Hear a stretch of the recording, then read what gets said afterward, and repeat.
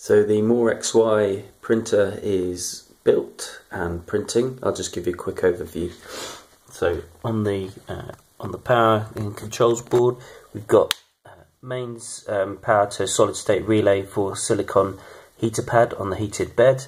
The ATX power supply does the motors and the hot end. We've got standard RAMPS um, coming off that with the Arduino Mega underneath. You can see the uh, uh, silent step stick with the um, protective um, uh, flyback diode board piggy um, backed underneath. Standard A4988s on the Z-axis and the extruder. And I also soldered in a low RDS on uh, MOSFET into the hot end for that. And you can see the the um, solid state relay control cables coming out of there. Uh, spool holder just there, uh, you got your high torque A and B motors there.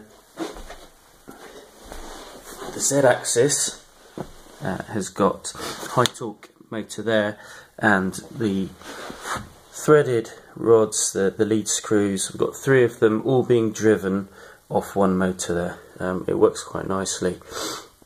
We've also got the original um, win um, linear guides. Um, I bought a second one of the 9mm that I was using on the X gantry, and there's one on either end now guiding the Z up and down.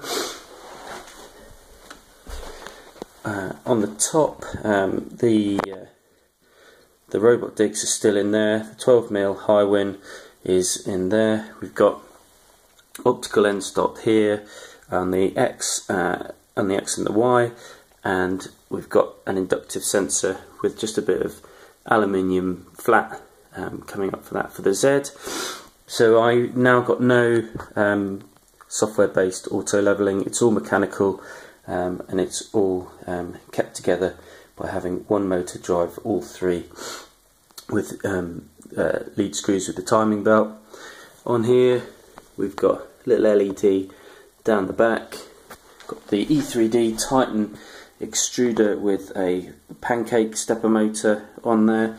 We've got the Volcano below and we've got this nice um, dual ducted um, bifurcated 40mm um, cooling fan uh, which goes on and cools the parts from both sides that's pretty good the bed itself is a really nice piece of cast aluminium plate um, that's been machined down nice and flat and stress relieved so that means it stays flat when it heats up. You can see the cable for the the uh, silicon heated bed and underneath I'm using some uh, fat controller grease um, grill lining pads. Um, they go to decent temperature and that's just to insulate um, the underside of the silicon pad.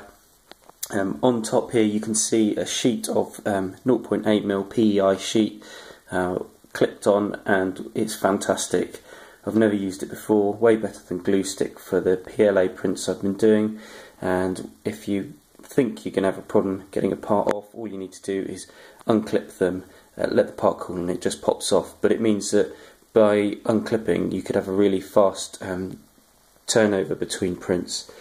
So that's uh, where the build currently is. It, it needs probably an enclosure and these uh, end bits of the slats holding the insulation underneath the heated bed could do with trimming. Um, but let me know in the comments uh, what else you want to know and I'll try and answer it in a future video and get some footage of it printing and some pictures of the parts up as well.